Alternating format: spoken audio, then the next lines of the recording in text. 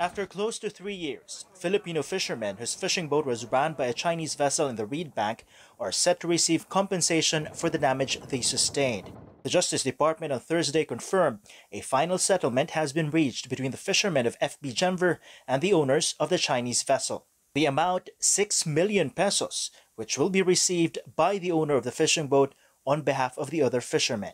The amount is only half of the initial 12 million pesos, which the DOJ said was the estimate of the damages the owner and fishers of FB Gemver were claiming back in 2019. The Filipino boat's stern was caught during a collision with a Chinese vessel on June 9, 2019, while it was anchored on the Reed Bank. The fishermen first claimed a Chinese vessel rammed their boat in the Reed Bank, causing it to sink. They said they were left adrift in the sea for hours until they were rescued by a Vietnamese boat.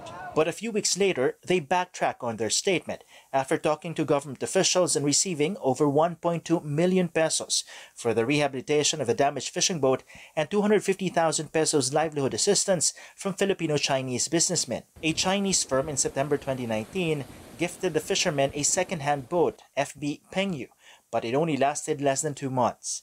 Its body was cut in half after strong waves battered it overnight.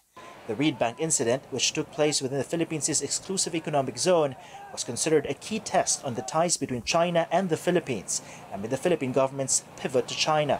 Beijing called it an ordinary maritime incident, while Manila lodged diplomatic protest against China at a time when no less than President Rodrigo Duterte refused to assert the 2016 Philippines' victory at the Arbitral Tribunal in The Hague over the country's maritime rights in the West Philippine Sea.